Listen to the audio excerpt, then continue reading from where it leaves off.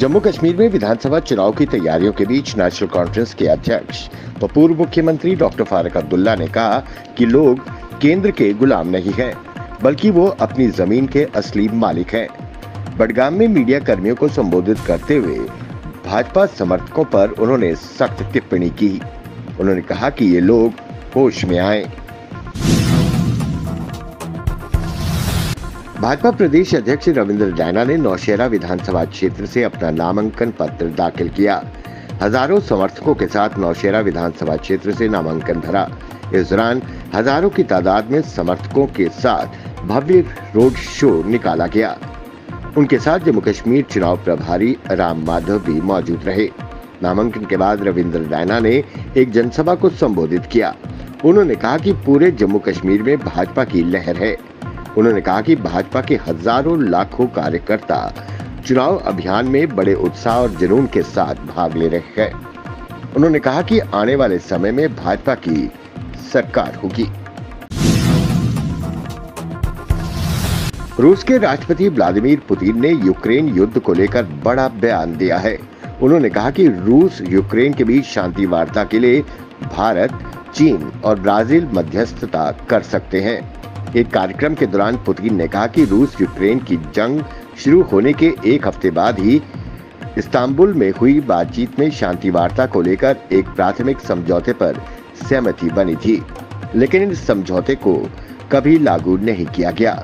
अब अगर फिर से मध्यस्थता की बातचीत शुरू होती है तो इस्तांबुल में हुआ प्राथमिक समझौता इस बातचीत का आधार बन सकती है।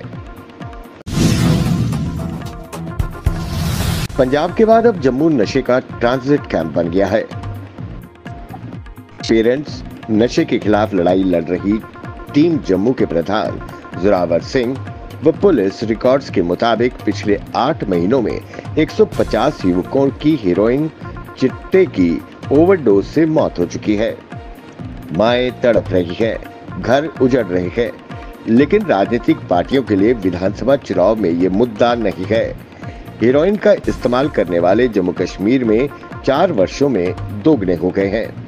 नशा छुड़ाने के लिए अस्पताल में पहुँचने वालों की संख्या भी दोगुनी हो गई है। परंतु जम्मू कश्मीर राज्य की Congress, PDP, national conference, Apni party व पीपल्स कॉन्फ्रेंस इसे चुनावी मुद्दा बनाने में असफल रही है।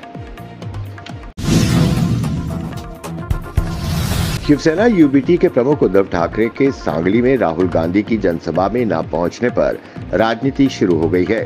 शिवसेना शिंदे गुट के नेता संजय निरुपम ने कहा कि कांग्रेस और एनसीपी शरद पवार से मिलकर उद्धव ठाकरे को सांगली से बाहर कर दिया। जल्द ही दोनों मिलकर उनको महाराष्ट्र से भी बाहर कर देंगे। शिवसेना, यूबीटी, एनसीपी, शरद और कांग्रेस के बीच कुछ भी ठीक नहीं चल रहा है। भाजपा ने आरोप लगाया कि कोलकाता में जिस अस्पताल में डॉक्टर से दुष्कर्म और हत्या की गई थी, उसके टॉयलेट रूम को तोड़ने का आदेश अस्पताल के प्रमुख डॉक्टर संदीप घोष ने दिया था। भाजपा का आरोप है कि टॉयलेट को तोड़ने का आदेश 10 अगस्त को ही दे दिया गया था, जबकि डॉक्टर से दुष्कर्म की जघन्य वारदात 9 अगस्त को ही लोगों के सामने आई थी। आरोप है कि डॉक्टर को इस घटना को छिपाने के लिए सरकार के स्तर से निर्देश दिया गया था। हालाँकि विवाद बढ़ने के बाद संदीप घोष को गिरफ़्तार कर लिया गया। अभी वो सीबीआई की हिरासत में है।